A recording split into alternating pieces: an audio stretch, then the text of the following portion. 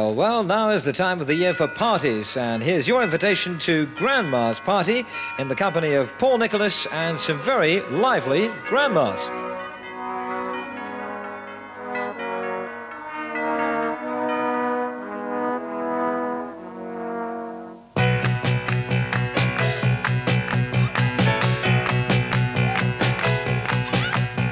I brush my bowl and I grab my.